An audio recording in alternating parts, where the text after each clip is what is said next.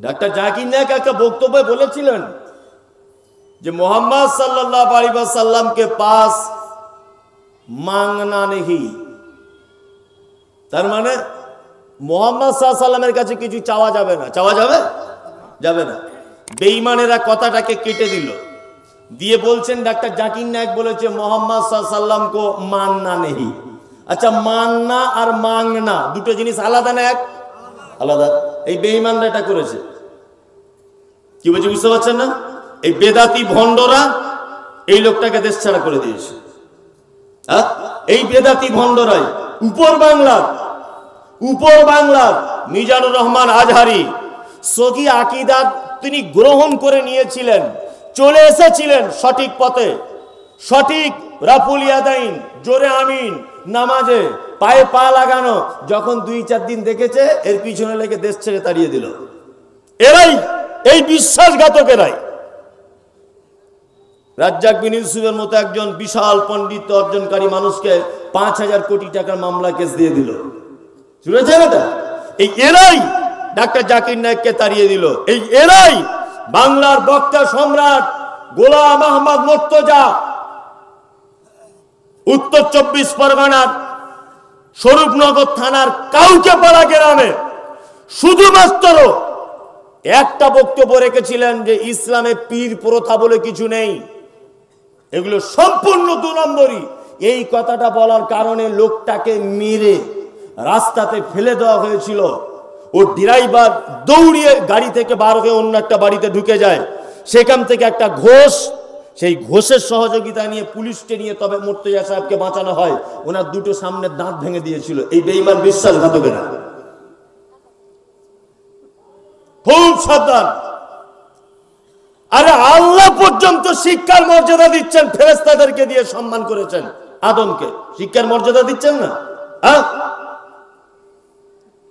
কি আশ্চর্য ব্যাপার, তোমার বক্তব্য শুনে কটা লোক ইমান এনেছে? একটা সবজির দোকানে গিয়ে যদি চাঁদির আংটি কিনতে পাওয়া যায়, সোনার নাকের কানের যদি কিনতে পাওয়া যায় আচ্ছা এটা আশ্চর্য ব্যাপার কি? আশ্চর্য ব্যাপার নয়।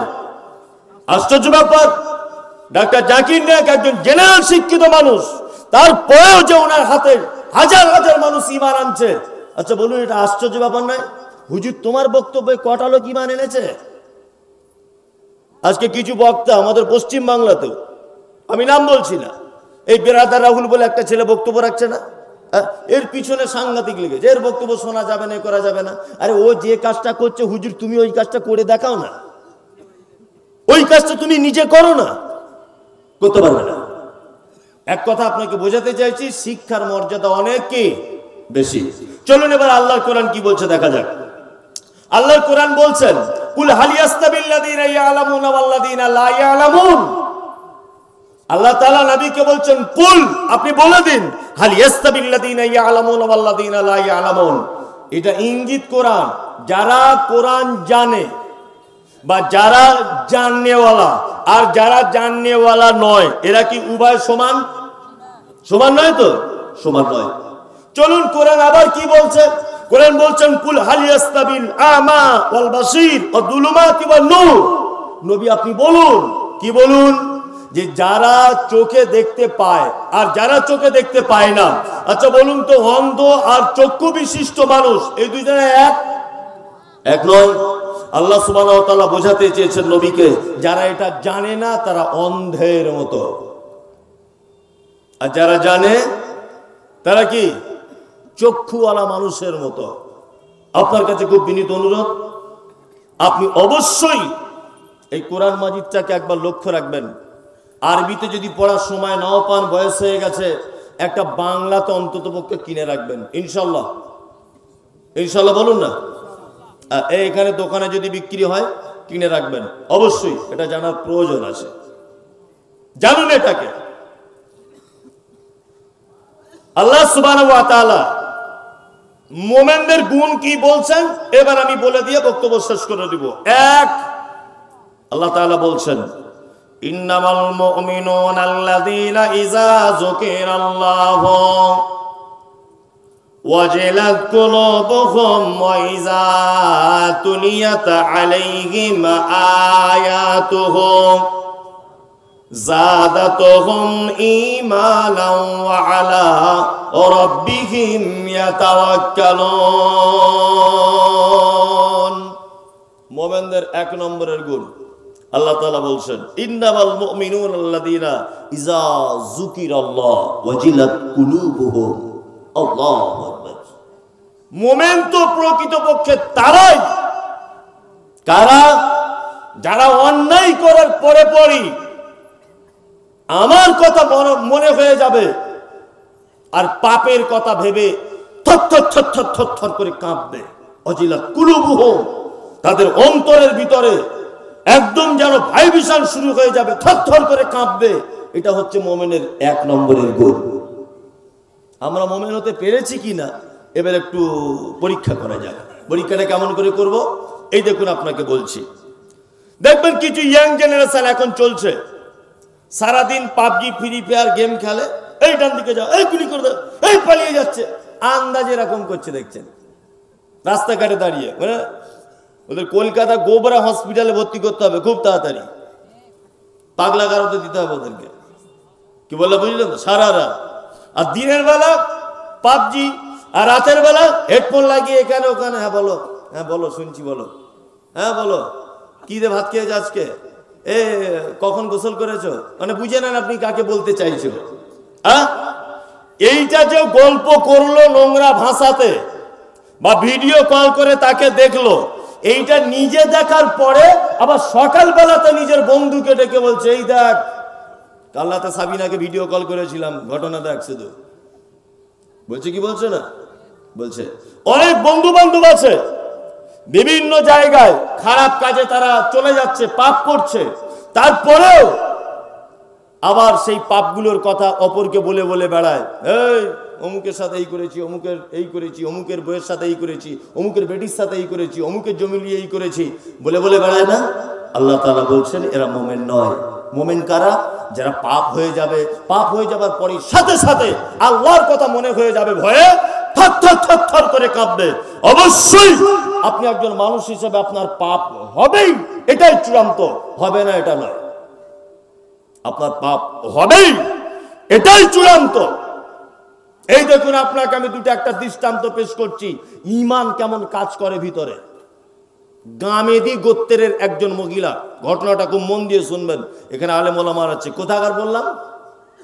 মহিলাটা কোথাকার? গামেদি গোত্রের। কোন গোত্রের? গামেদি গোত্রের একজন মহিলা। আল্লাহ নবী আলাইহি কাছে এসেছেন। এসে বলছেন ফাতা ফিরনি আল্লাহর নবী আপনি একটু আমাকে পবিত্র করে দেন। আল্লাহ রসুল মুখ ফিরিয়ে নিলেন। মহিলাটি আবার ওই মুখ ফিরানোর দিকে এসে বলছেন, আল্লাহ নবী, আপনি আমাকে একটু পবিত্র করে দেন।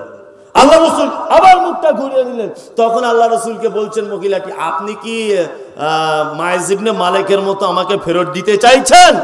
আল্লাহ নবী তখন বলছেন, মহিলা, কিসের কারণে তোমাকে পবিত্র করব বলো? তখন মহিলা বলছেন, আল্লাহ নবী যেটা মানুষ বৈধভাবে করে, সেটা আমি অবৈধভাবে করেছি, আমি জেনা করেছি। শুধু জেনা করিনি, আমার পেটে দেখুন বাচ্চা চলে এসেছে। আল্লাহ আল্লাহ নবী মহিলাটিকে বলছেন, মহিলা, তুমি কি জানো? তুমি কি জানো যে বিবাহের পরে যদি কেউ ব্যবিচার করে, তার সাজা কি? মহিলা বলছেন আল্লাহ নবী, অবশ্যই আমি জানি, তবে আমি এটাও জেনেছি আপনার মুখে কি? কিয়ামতের মাঠে যদি কোনো মানুষকে একদিন যদি দাঁড়িয়ে থাকতে বলা হয় সেই দিনটা হবে পঞ্চাশ হাজার বছরের সমান। কোনো মানুষকে যদি একদিন যদি জাহান নামের ভিতরে নিক্ষেপ করা হয়, সেই দিনটা হবে পঞ্চাশ হাজার বছরের সমান। আল্লাহ নবী, আমি সব জানি। তারপরেও বলছি, যেটা কোরআনের সাজা আছে, ওই সাজাটা আপনি আমাকে দিয়ে দেন। দুনিয়াতে হয়তো ক্ষণেকের জন্য সাজা পাবো, কিন্তু আল্লাহ দরবারে গিয়ে বেঁচে যাব। মহিলাকে আল্লাহ নবী সাল্লাম বলছেন, বাড়ি চলে যাও। যাও, বাড়ি যাও। বাড়ি চলে যাও। তোমার বাচ্চা হবে, যতদিন দুধ পান করবে, ততদিন দুধ পান করাও। তোমার বাচ্চা দুধ ছেড়ে দিয়ে রুটি খেতে শিখবে, তারপরে তুমি আমার কাছে আবার আসবে। বিশ্বনবী বাড়িতে হঠাৎ করে মহিলার আগমন। এসে আল্লাহর নবীকে বলছেন, আল্লাহর নবী, ওই সেই মহিলাটা আমি যাকে আপনি তাড়িয়ে দিয়েছিলেন। এই দেখুন, আমার বাচ্চা রুটি খেতে শিখে গেছে। আপনি ভাবতে পারছেন তাদের ইমানটা কেমন? আপনি ভাবতে পারছেন? ইমানটা কেমন?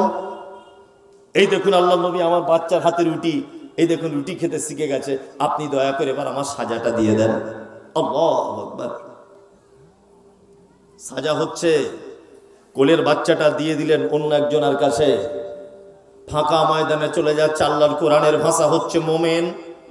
কোন বিবাহিত নারী পুরুষকে যদি কোমর পর্যন্ত পুঁতে যখন সাজা দিবে, ফাঁকা ময়দানে প্রকাশ্যে আল্লাহ মোমেনদের ব্যাপারে বলছে, মোমেন, তোমাদের যেন মনে দয়াটুকু যেন না হয়, যারা বিবাহের পরে জেনা ব্যবিচারে লিপ্ত হয়, এদেরকে পাথর মারতে তোমাদের মনে যেন দয়াটুকু না হয়। এরকম আসামি আমরা আছি না? অনেক রয়েছে। অনেক আসামি রয়েছে আমরা এখানে, কিন্তু ধরা পড়িনি তাই। মহিলাটিকে কোমর পর্যন্ত পুঁতে দেওয়া হলো। সব পাথর মাপছে পাথর। খালিদ বিন অনিদ, এত জোরে একটা পাথর বেড়েছে, আল্লাহ একবার যে তার কপালে লেগে মহিলাটির কপাল থেকে রক্ত ছিটকিয়েছে। খালেদ বিন মুখে লেগেছে। খালেদ বিন তখন একদম ভৎসনা দিয়ে বলছে, "এই ব্যভিচারিণী মহিলা, এই অপবিত্রা মহিলা, এই অসভ্য মহিলা, তোমার রক্ত আমার গায়ে চলে এলো। আমি একজন আল্লাহর নবী সাল্লামের সাহাবি, তোমার মতো একজন অসভ্য অপবিত্রা মেয়ের রক্ত আমার গায়ে চলে এলো। বিশ্ব নবী সাল্লাম সঙ্গে সঙ্গে খালিদকে ডেকে বলছেন, খালিদ বিন অলিদ এই কে গালাগালি করছ, কে? আমি আল্লাহ নবী সাল্লাম ডেকে বলছেন, শোনো, কাকে গালাগালি করছ? কাকে? তুমি জানো মহিলাটি আল্লাহকে কত ভয় করেছে? তুমি জানো মহিলাটি কত অনুতপ্ত? তুমি জানো আল্লাহর প্রতি কেমন বিশ্বাস রেখেছে? তুমি জানো ও জাহান্নামকে কত ভয় করেছে? তুমি কি জানো আল্লাহ আজাবকে কত কঠিন মনে করেছে? তুমি কি জানো ওকে তুমি ভৎসনা করতে যাচ্ছ? শোনো, খালেদ বিন অলিদ ও যে পাপ করেছে, ও যে অনুতপ্ত হয়েছে, ও যে তওবা করেছে, দেখো নিজের দুধের বাচ্চাকে ফেলে দিয়ে আজকে মরতে বসেছে। আমি নবী মোহাম্মদ সাল্লাল্লাহু আলাইহি ওয়াসাল্লাম বলছি, ও যে কঠিন তওবা করেছে, ওর তওবা থেকে যদি মক্কার একদম নিকৃষ্ট মানের মানুষদের মাঝখানে বিলি বন্টন করে দেওয়া হয়, তাহলে সেই নিকৃষ্ট লোকগুলো পর্যন্ত ক্ষমা পেয়ে যাবে। ও তো একা ক্ষমা পাওয়া দূরের কথা। কি আশ্চর্য ব্যাপার। আল্লাহ তাআলা বলছেন জাদাত হুম ইমানা মোমেন তো তারাই। কারা তারা? না, মোমেন হলো তারা যারা পাপ কাজ করার পরে পরই আল্লাহর কথা স্মরণ হয়ে যাবে, ভয়ে থর থর থর থর থর থর করে কাঁপবে। অবশ্যই আপনি পাপ করুন। আমি করতে আদেশ করছি না, আপনার পক্ষে হওয়া সম্ভব। আপনি একজন মানুষ, আসরের সময় পাপ করেছেন, একটু জোহর পর্যন্ত টাইমটা নিয়ে আল্লাহর কাছে বলুন না, আল্লাহ, পাপ করেছি, পৃথিবীর কেউ জানে না, তুমি জানো, তুমি আমার পাপ ক্ষমা করে দাও। এটা কি তার কাছে একটু বলা যায় কি যায় না? যায় যায়। আপনি কার উম্মত এটা আপনি ভাবতে পাচ্ছেন আল্লাহ আকবার। গোটা কিয়ামতের মাঠ, ইয়া নফসি ইয়া নফসি ইয়া নফসি। গোটা কিয়ামতের মাঠ, ইয়া নফসি ইয়া নফসি। নবীরা পর্যন্ত ইয়া নফসি ইয়া নফসি। আল্লাহ, আমার নাফসের কি হবে? আমার নিজের কি হবে?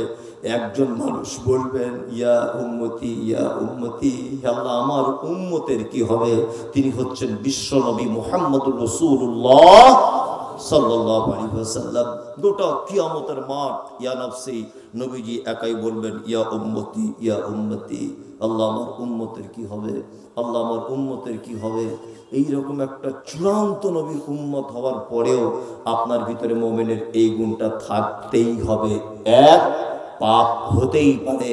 আল্লাহর ভয়ে যখন চলে আসবে, পাপের কথা মনে পড়ে গেলে অবশ্যই আল্লাহর দরবারে ক্ষমা চেয়ে নেবেন। ইনশাল্লাহ ইনশাল্লাহ বলুন। পাপ করবেন। যদি আপনার দ্বারা এত হয়ে যায়, আপনি মানুষ, অবশ্যই ক্ষমা চেয়ে নেবেন। আমি মমতাজুল ইসলাম, আমিও, আপনিও। এক নম্বরের গুণ হল, দ্বিতীয় নম্বরের গুণ আয়াত হোম জাদাতুহুম ঈমানাও, ওয়া আলা রাব্বিহিম ইয়াতাওয়াক্কালুন। আল্লাহ বলে মোমেনের দ্বিতীয় নম্বরের গুণ হলো তারা হলো মোমেন।